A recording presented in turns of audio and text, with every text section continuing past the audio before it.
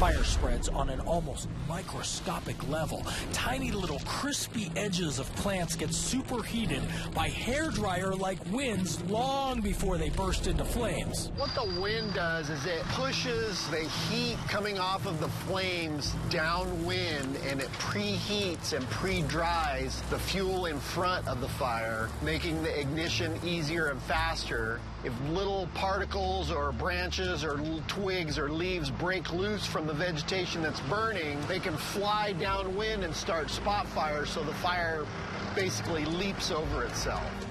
Jumping around and over the heads of firefighters who have to climb large hills to get to the next patch of fire. This way? Oh, over here? Ugh. Wow. We haven't even started walking up this hill just yet.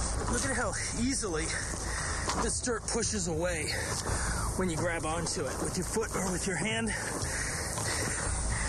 And we've got fire right over here, too. This is dangerous work.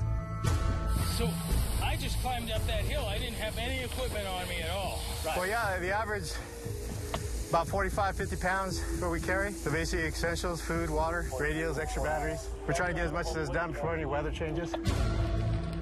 We pick a point where we think it's safe to make an attack where, you know, we won't get burned around and we go up the sides together, kind of, until we can get to the other end and pinch it off.